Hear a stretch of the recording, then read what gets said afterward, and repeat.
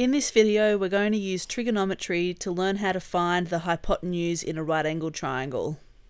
In this example, we've been given a right angled triangle with an angle of 35 degrees, a side length of 7, and we're trying to find the hypotenuse, which is labelled x. Our first step is to label the sides of the triangle. The side opposite the right angle is the hypotenuse. The side opposite the angle is our opposite, and the side next to or adjacent to the angle is our adjacent side. We then need to highlight which sides have information on them. So in this example, we have the hypotenuse side and the adjacent side. This helps us determine which trig ratio we are going to use. So because we have information on our adjacent and our hypotenuse sides, this means that we are going to be using our cos ratio. Let's start by writing down our formula cos theta equals adjacent over hypotenuse. Now let's substitute into this equation the information that we know.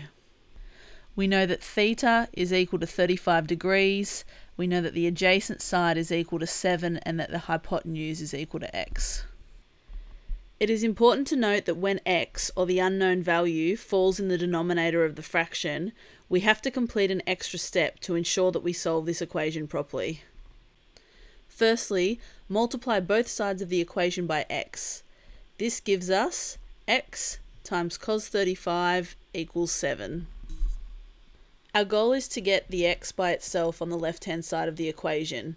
Because it is attached to the cos 35 by a times sign, we have to do the opposite, which is to divide both sides by cos 35. We can then cross out the cos 35 from the left hand side of the equation because anything divided by itself is 1. And we now have x equals 7 divided by cos 35. You can see that to get to this step from the second line of working, we have literally just swapped the position of the x and the cos 35. At this stage, we can just put the information on the right hand side of the equation into our calculator to get the answer, which to one decimal place, x is equal to 8.5.